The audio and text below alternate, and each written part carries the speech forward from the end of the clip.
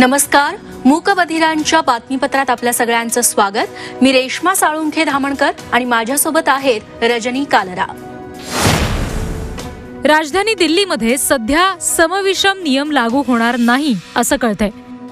पावसामुळे सध्या वातावरण स्वच्छ झालंय आणि प्रदूषण सुद्धा कमी झालेलं आहे. यानंतर दिल्ली सरकारनं हा निर्णय घेतला. प्रदूषणाबाबत आज जी सुनावणी झाली त्यानंतर सुप्रीम कोर्टाने समविषम नियमाबाबतचा निर्णय हा दिल्ली सरकारनं घ्यावा असं म्हटलं होतं. मागच्या काही दिवसामध्ये प्रदूषण सातत्यानं वाढत होतं आणि त्यामुळे राज्य सरकारने तेरा ते वीस नोव्हेंबरमध्ये समविषम नियम लागू करण्याची घोषणा केली होती. दिल्लीतलं वाढतं प्रदूषण लक्षात घेऊन सुप्रीम कोर्टाने आजच्या सुनावणीमध्ये ताशेरे ओढलेले आहेत.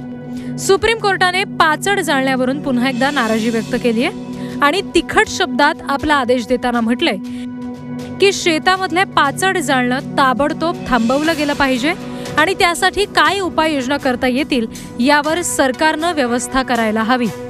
सुप्रीम कोर्टाने म्हटलंय की राज्यातल्या सगळे चीफ सेक्रेटरी यामध्ये जबाबदार असतील आणि त्यांना आम्ही कडक शासन करू.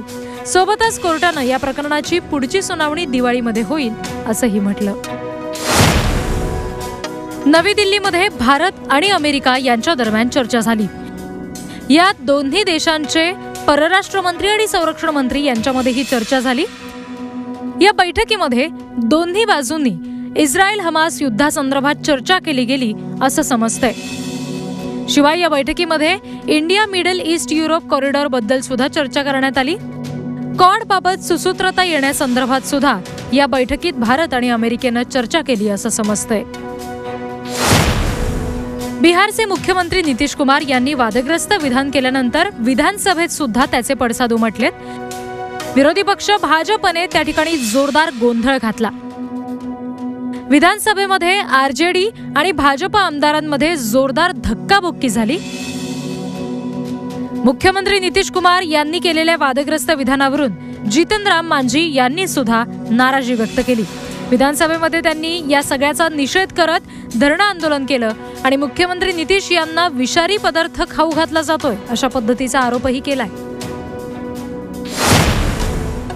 मूकबधिरांच्या या विशेष बातमीपत्रात आज इतकंच. यानंतर एक छोटासा ब्रेक बघत रहा झी चोवीस तास.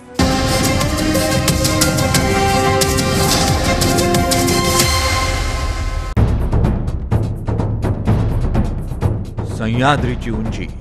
म्हणजे